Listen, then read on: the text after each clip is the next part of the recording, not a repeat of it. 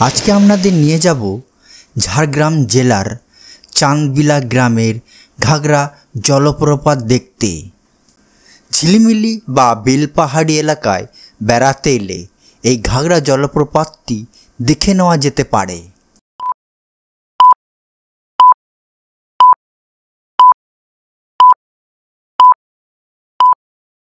আমি এই যাত্রায় বাঁকুড়ার ঝিলিমিলি থেকে ঘাগরা জলপ্রপাতটি দেখে নিয়েছি।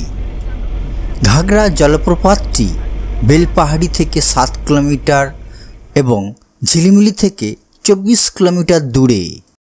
ঘাগরা জলপ্রপাতটি বেলপাহাড়ি বা ঝাড়গ্রামের একটি উল্লেখযোগ্য দর্শনীয় স্থান। পশ্চিমবঙ্গের প্রাকৃতিক সৌন্দর্য উপভোগ করতে চাইলে এই ঘাগরা জলপ্রপাতটি অবশ্যই দেখে নেওয়া যেতে পারে। এর মনোরম পরিবেশ, মন্ত্রমুগ্ধ জলের স্রোত এবং মনোমুগ্ধকর গ্রাম্যতা সহ ঘাগরা জলপ্রপাত এক ইম্পর্ট্যান্ট টুরিস্ট প্লেস জানা যায়, ইংরেজদের আমলে বেলপাহাড়ির নীলকর সাহেব ফেডরিক রাইজ ঘোড়ায় চড়ে জঙ্গলে ভ্রমণের সময় ঘাগরা জায়গাটা খুঁজে পেয়েছিলেন। এরপর ইংরেজরা এখানে পিকনিক করতে আসতেন। এই ঘাগরা জলপ্রপাতটি তারাফেনী নদীর খর জলধারা। এই ঘাগরা জলপ্রপাতের ঘাগরা নামটি গাগরা শব্দ থেকে এসেছে, যার অর্থ জলে ভরা একটি কলসি। ঘাগরা জলপ্রপাতের আকৃতি দেখার মতো। পাথরের মাঝখান থেকে জল আসার সময় পাথর ক্ষয়ে গর্তের সৃষ্টি হয়েছে। জল এই সমস্ত গর্তের মধ্যে দিয়ে আসার সময় কলসি থেকে জল ঢালার মতো ওই গর্তগুলি থেকে জল বের হতে থাকে। বর্ষাকালে ঘাগরা জলপ্রপাতের সৌন্দর্য দেখার মতো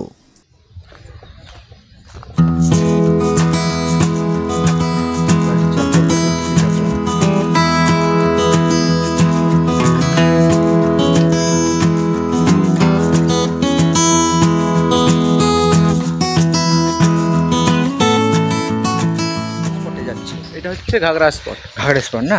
এটা মানে ঝাড়গ্রামের বেলপাহাড়ি অঞ্চলের মধ্যে পড়ছে এটা। আচ্ছা। এখানে তো মানে শীতের সময় খুব ভিড় হয় না? পিকনিক করার দেখলাম তো পিকনিক করার স্পট আছে। ঘাগরা জলপ্রপাত স্থানীয় মানুষদের কাছে একটি জনপ্রিয় পিকনিক স্পট।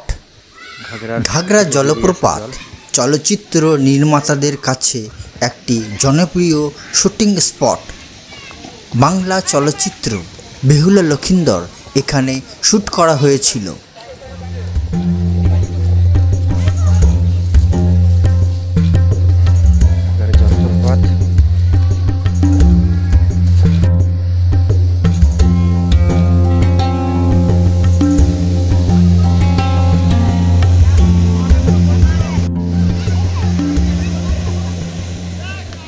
আমি ঘাগরা জলপ্রপাতের কাছে বসে আছি। পিছনে জলপ্রপাতটা দেখা যাচ্ছে। যাব। অনেক লোক দাঁড়িয়ে আছে ওখানে। ওনারা এলেই আমি কাছে যাব, বা তার আগেও আমি যেতে পারি। ঘাগরা জলপ্রপাত।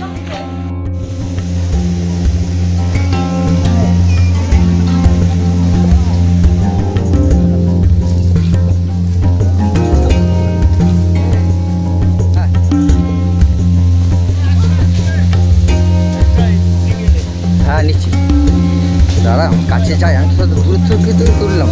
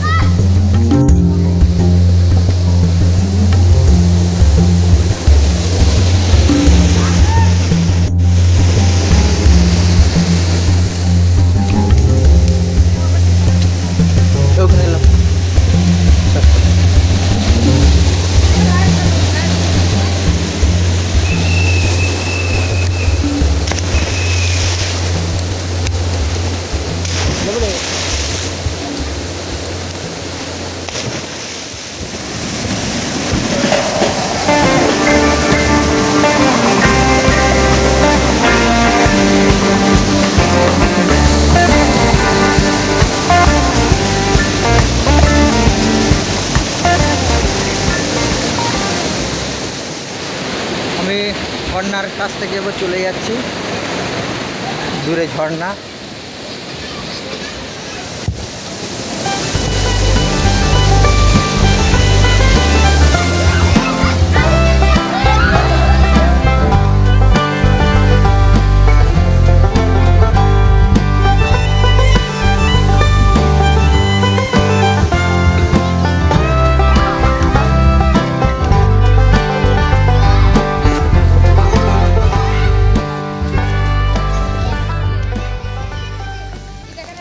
ঘাগড়া জলপ্রপাতের চারিদিকে সবুজে ঘেরা, নিস্তব্ধ, নিরিবিলি। তাই অনায়াসে বেশ কিছুক্ষণ কাটানো যেতে পারে।